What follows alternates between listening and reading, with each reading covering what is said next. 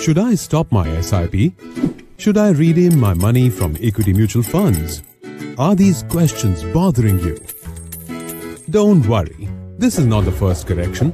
Stock market has gone through many such corrections in past. If you want more value, you need to pay more price. Similarly, if you want to get more return than risk-free rate of return, you need to pay more price.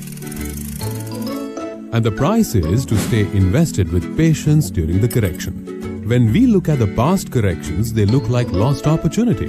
And we wish that if you get time machine, we would travel back and invest more during the past correction. Then why worry about the current correction?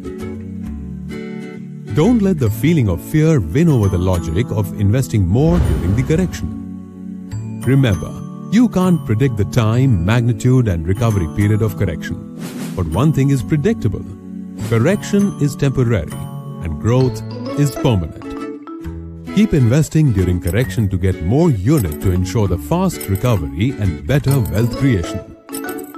Mutual fund investments are subject to market risks. Read all scheme related documents carefully.